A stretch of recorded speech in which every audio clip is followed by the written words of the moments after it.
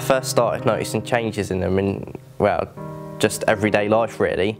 They were looking at strange pages on the internet and following weird pages on Facebook. They started becoming more and more obsessed with conspiracy theories and outlandish stories. They started sharing extreme videos, stuff that just nobody wants to see. They would just try and argue with people and get them to agree with them. They started becoming quite distant from our friendship group as well, and they became quite aloof and aggressive. They lost their job and they started failing school. They just didn't do as well.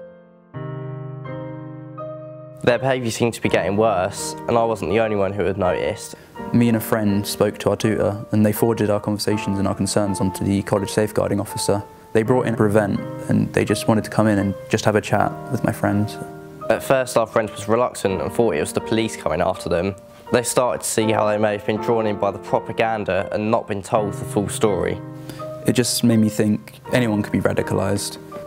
But if you know how to spot the signs, you can stop it, you can prevent it from happening before it's too late.